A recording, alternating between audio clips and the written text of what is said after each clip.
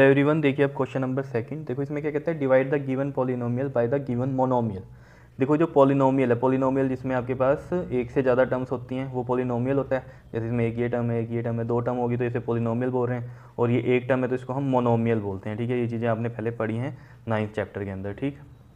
अब देखो ज़रा डिवाइड करना है तो हम इसको डिवाइड कैसे लिखेंगे? देखो five x square minus six x को डिवाइड करना है थ्री एक्स से।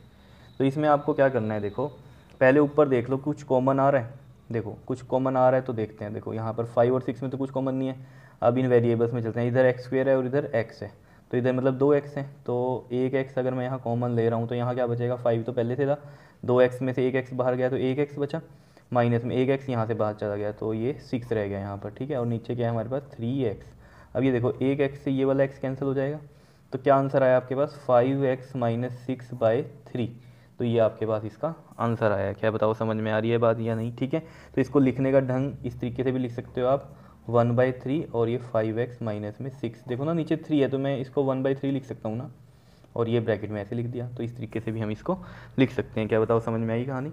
नेक्स्ट देखो इसका सेकंड पार्ट। देखो, सेकंड पार्ट में क्या कह रहा है आपको?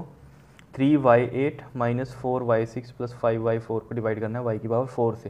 तो इसको भी लिखते हैं ऐसे ही, three y eight minus four y six plus में फाइव वाई फोर अपॉन में वाई फोर अब देखो, इनमें से कुछ नंबर्स देखो, कुछ कॉमन आ रहा है तीनों में कोई कॉमन नहीं आ रहा। अब वेरिएबल में देख लो, अब वेरिएबल में देखो सेम है वाई वाई वाई इनमें ना लोवेस्ट देख लिया करो पावर्स किसकी है? वाई फोर है।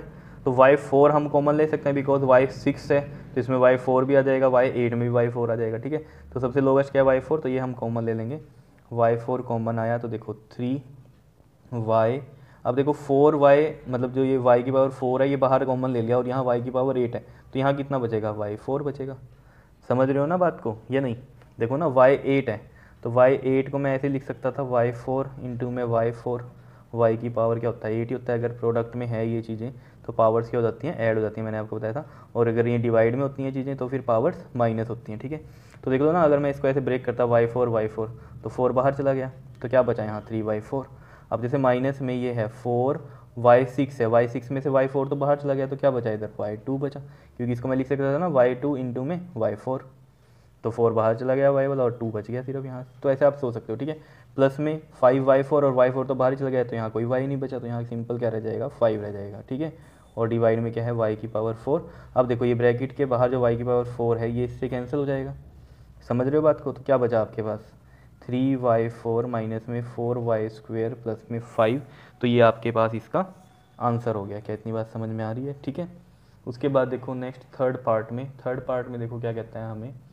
कहता है x cube y square z square plus x square y cube z square plus में x square y square z cube bracket में, और यहाँ एट है, और डिवाइड बाई दिस टर्म है। तो देखो, इसमें भी हम ऐसे ही करेंगे, देखो इसको लिखते हैं eight x cube y square z square plus में x square y cube z square, ध्यान से लिखना है ये सब नंबर, प्लस में एक्स स्क्वेयर वाई स्क्वेयर और ये है जेड क्यूब, और इसको डिवाइड करना है हमें four x square y square z square से। तो देखो फोर टू ज़ा एट ये हो गया, ठीक है?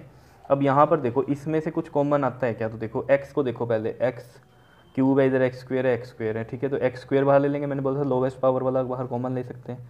तो टू तो है ही बाहर, और इधर से एक्स स्क्वेयर बाहर आ गया, ठीक है? अब वाई में देखो, इधर वाई स्क्वेयर है वाई क्यूब है वाई स्क्वेयर है तो यानी कि वाई स्क्वेयर छोटा है तो वाई स्क्वेयर ले लिया हमने मतलब लोवेस्ट पावर वाला। जेड में देख लो, अब इधर जेड स्क्वेयर है जेड स्क्वेयर है, इधर जेड क्यूब है तो जेड स्क्वेयर हम कॉमन ले सकते हैं, ठीक है? अब देखो मेन चीज़, यहाँ बचा क्या? देखो वाई स्क्वेयर जेड स्क्वेयर बाहर चला गया, और इधर बचा एक्स क्यूब एक्स क्यूब में से भी एक्स स्क्वेयर बाहर चला गया तो कितने एक्स बचे इधर? एक एक्स बचा, समझ पा रहे हो ना बात को? प्लस में। यहाँ से देखो एक्स स्क्वेयर बाहर चला गया और ये जेड स्क्वेयर भी बाहर चला गया। वाई क्यूब में से वाई स्क्वेयर बाहर चला गया। तो कितना वाई बचा इधर? एक वाई बचा। प्लस में ऐसे इधर से एक्स स्क्वेयर गया बाहर वाई स्क्वेयर बाहर गया और जेड क्यूब में से इधर से जेड स्क्वेयर चला गया बाहर। तो इधर बचा क्या सिर्फ़? एक जेड बचा। तो इस तरीके से हम लिख देंगे, ठीक है? और नीचे क्या था हमारे पास? ये देखो एक्स स्क्वेयर वाई स्क्वेयर और ये जेड स्क्वेयर तो देखो एक्स स्क्वेयर से x square cancel y square से y square cancel z square से जेड स्क्वेयर कैंसिल तो क्या बचा आपके पास? ये बच गया आपके पास टू और ये इधर एक्स प्लस में वाई प्लस में जेड तो ये आंसर आ गया आपके पास डिवाइड होने के बाद। ठीक है जी? बताओ समझ में आ रहा है या नहीं? बिल्कुल ही सिंपल है, कुछ भी मुश्किल नहीं है इन क्वेश्चन के अंदर। ठीक? नेक्स्ट चलते हैं हम इसके फोर्थ पार्ट में। तो हमें यहाँ समझ में आ रहा है हम क्या कर रहे हैं? कॉमन लेकर फिर हम डिवाइड कर रहे हैं ताकि वो कट जाएँ। तो देखो ज़रा, जैसे ये हमारे पास क्वेश्चन है। एक्स क्यूब प्लस में टू एक्स का स्क्वेयर प्लस में थ्री एक्स इसको डिवाइड करना है हमें टू एक्स से। तो हम कैसे डिवाइड कर सकते हैं? देखो, पहले तो नंबर देखा करो, कुछ कॉमन आ रहा है, नहीं आ रहा है। अब वेरिएबल में देखो क्या कॉमन आ रहा है। एक्स है एक्स है एक्स है। अब एक्स की यहाँ पर लोवेस्ट पावर देखो क्या है। एक्स की पावर ये वन है, जिसके ऊपर कोई पावर नहीं होती, वो क्या होती है? पावर वन तो एक्स है, ठीक है? तो सिंगल एक एक्स हम बाहर ले लेंगे। तो यहाँ क्या बच जाएगा? एक, तीन एक्स है ना, एक एक्स बाहर चला गया। तो दो एक्स बचे प्लस में। टू एक्स स्क्वेयर है टू एज इट इज़ और एक्स स्क्वेयर में से एक एक्स बाहर गया तो एक एक्स बचा। प्लस में इधर से एक एक्स बाहर चला गया तो सिंपली थ्री बचा हमारे पास, ठीक है? और यहाँ पर है ये टू एक्स तो ये एक्स से एक एक्स कट जाएगा। तो हमारे पास जो आंसर आएगा इसका वो आंसर क्या आ रहा है हमारे पास ये एक्स का स्क्वेयर प्लस में टू एक्स प्लस में थ्री डिवाइड बाई टू ये इसका आंसर आ गया।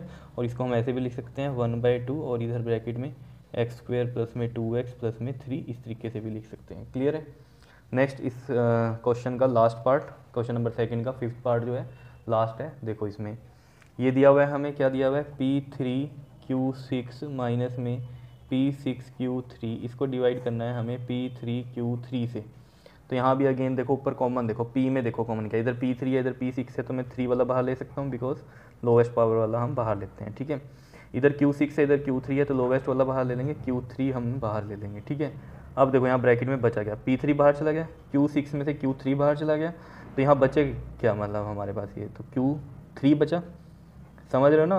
देखो सिक्स है और तीन बाहर चले गए तो इधर बचे कितने थी, ठीक है? और माइनस में पी सिक्स में से पी थ्री बाहर चला गया तो इधर पी थ्री बचा और क्यू थ्री तो बाहर है ही यहाँ पर, ठीक है? तो ये आ गया हमारे पास नीचे p three q three p three से ये p three cancel q three से ये क्यू थ्री कैंसिल क्या बचा सिर्फ़? क्यू थ्री माइनस में पी थ्री इसका आंसर आ गया। बताओ, समझ में आ रहा है या नहीं? बिल्कुल सिंपल से हैं, ठीक है? तो आपने जब डिवाइड करना है तो आपको देखना है पहले कॉमन लेकर। ठीक है, जो भी कॉमन आ रहा है उसे बाहर रखना है और फिर नीचे वाली टर्म से जो कटता है उसे कट कर दो और जो बचेगा वो आपका आंसर होगा। क्लियर है? चलो इसके नेक्स्ट वीडियो में हम क्वेश्चन नंबर थर्ड करेंगे। ओके जी थैंक यू